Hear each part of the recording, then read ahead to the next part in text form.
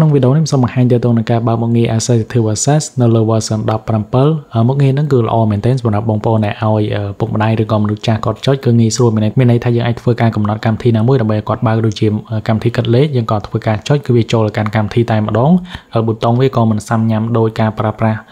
iPhone ដែលយើងមានមនុស្សច្រើនញ៉ៃញ៉ៃដែរអញ្ចឹងគាត់មនុស្សចាស់គាត់ជួយចាត់ចុចងាយងាយអញ្ចឹងយើងឃើញថាចុចមួយចូលចុចមួយចាញ់អញ្ចឹងខ្ញុំក៏ចុចមកចូល ខ្ញុំជួយត្រឡប់ក្រោយចាញ់អញ្ចឹងជាមួយនឹងមុខងារមួយហ្នឹងគឺយើងអាចធ្វើការបើកបាននៅ version 17ខ្ញុំសូមធ្វើការបិទវាសិនដោយខ្ញុំធ្វើការ exit វាសិនហើយខ្ញុំវាយលេខកូដខ្ញុំនឹងបង្ហាញទាក់ទងនឹងការ set up និងការដំឡើងវាដើម្បីបើកមុខងារនឹងបានបងប្អូនអាចចូលមកកាន់ setting ហើយយើងចូលមកកាន់ accessibility បន្តទៅយើងអាចអូសចុះក្រោមបងប្អូននឹងឃើញ option មួយមានឈ្មោះថា Assertive Access ដែលជា option មួយនេះយើងក៏ធ្វើការ select លើវាមកបងប្អូនចុច start វាដំបូង នៅពេលយើងអត់បានដំឡើងគឺវាឲ្យយើង set up លេខកូដដាក់លេខកូដអីចឹងទៅអញ្ចឹងបងប្អូនដាក់លេខកូដ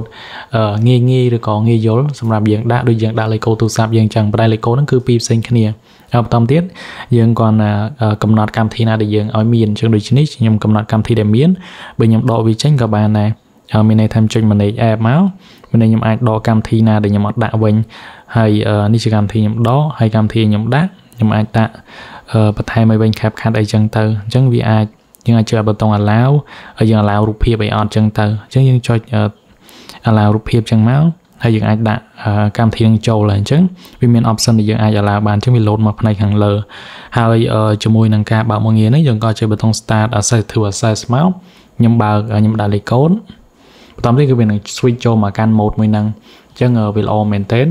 ហើយតើតោះនឹងការបិទក៏យើងងាយស្រួលដែរប៉ុន្តែយើងចាំតិចសិនអញ្ចឹងមានន័យថាខ្ញុំអាចប្រើប្រាស់បានកម្មវិធីនឹងនៅពេលខ្ញុំ lock ទូរស័ព្ទក៏ការ lock ទូរស័ព្ទក៏ងាយស្រួលដែរជួយ open ចេញតែម្ដងដើម្បីចេញពីមុខងារនឹងវិញយើងចុចប៊ូតុង power 3ដង1 2 3គឺវានឹង load បែបនេះខ្ញុំចុចប៊ូតុង exit មកវាយតែ password គឺវាចេញមកវិញហើយ